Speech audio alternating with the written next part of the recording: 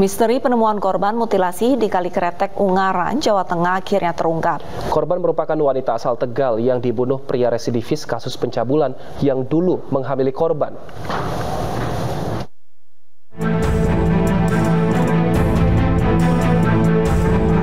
Inilah Imam Sobari, 32 tahun, pelaku mutilasi seorang wanita yang potongan tubuhnya ditemukan di sekitar aliran Sungai Kretek, Unggaran, Kabupaten Semarang, Jawa Tengah.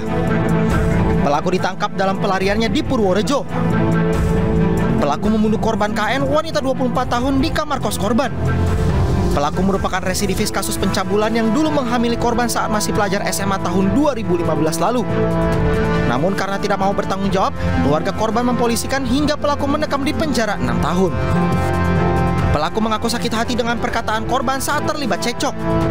Usai membunuh korban, pelaku memutilasi jasad menjadi 11 potongan dan dibuang di empat lokasi berbeda.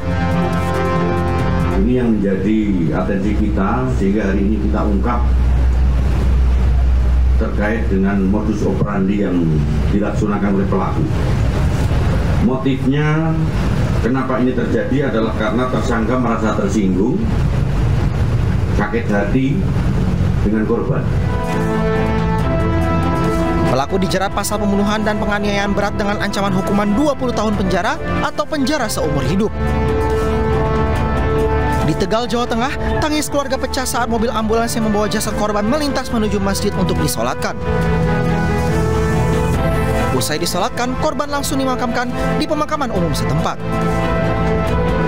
Tim Liputan iNews melaporkan.